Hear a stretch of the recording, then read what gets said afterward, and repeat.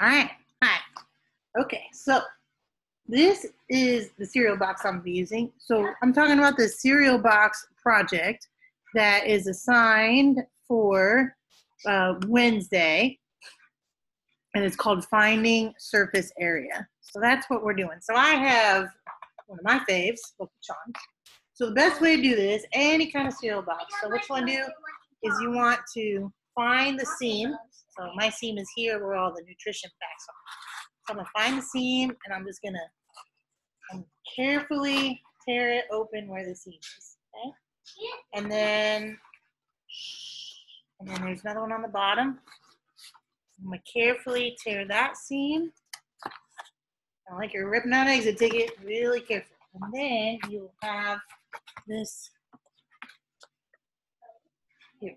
Okay, you'll have the big space of the of your cereal box. So now the best thing to do is to have a ruler and a marker.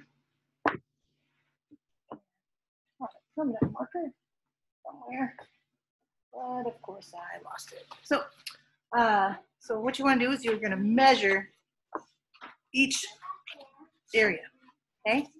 And because we're doing the surface area, remember, okay, there's only six sides. It's gonna look like there's more, but there's only six. You see, these overlap, right? So you got down here on the bottom, right? So when I put it back together, you can only see the red, right? Remember we tore it off and it's only the red. So we only have to do the red, not, not the white, okay? On the top, we'll just do that times two.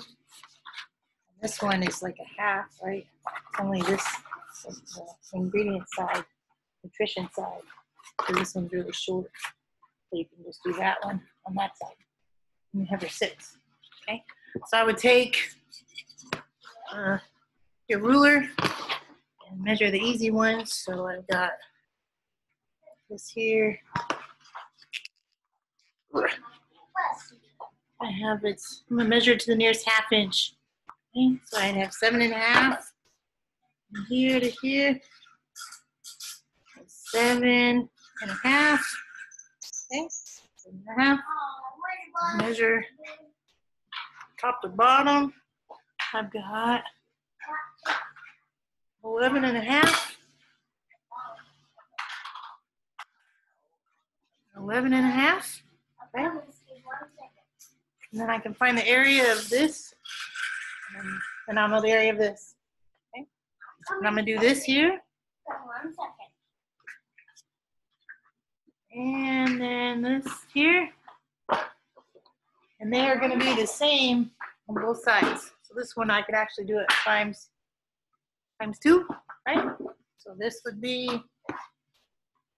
one and a half. We'll just call that an even two.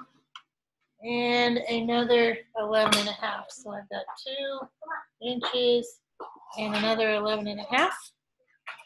And then the last one would be the bottom. And I'm gonna do the red Lucky Charms. It really doesn't matter, but I'm still gonna do the red one. So this here, go across, and then down. So that would be, again, about two. And then going across would be, looks like, seven and a half or eight? Uh, it's closer to seven and a half for sure. So that would be seven and a half. That's what I have there. So then I would take all of them and I would multiply my seven and a half times 11 and a half, right? I get that answer. This one here would be 11 and a half times two, get that answer. And the one on the bottom, seven and a half times two, and I get that answer. And you get all those answers there and there. So I know this one's 15, this one's 23, and this one I actually have to do. So I've got 25, 35, 37, 7, not 5, zero, five and seven, again, zero, zero, five and seven, add it up, five, two, carry the one, that'd be 10, 16, 8, 86, 25. So don't forget your decimals. There, there, and there. Okay. All right. Yeah, am I done? Oh, right. So you gotta add all these up. So 86, 25 hundredths plus 23 plus 15. Add them up. Put those decimals in place so I don't lose track. I got 25. Add these up. 9 and 5 is 14. Carry the 1, 8, 10, 11, 12. 124, 25 inches squared. Label, label, label. All right, are we done? Nope, not done yet. She knew it. Not done yet. So we have to take all these because this is only the three sides. That's only this, this, and this. We need six sides. Okay, so we gotta take all that. We gotta times it by two. Take all that, times it by two. I get 10.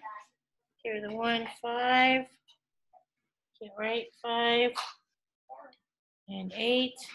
And four. And two inches squared. Okay, so my total surface area of the box is 248 and a half inches squared.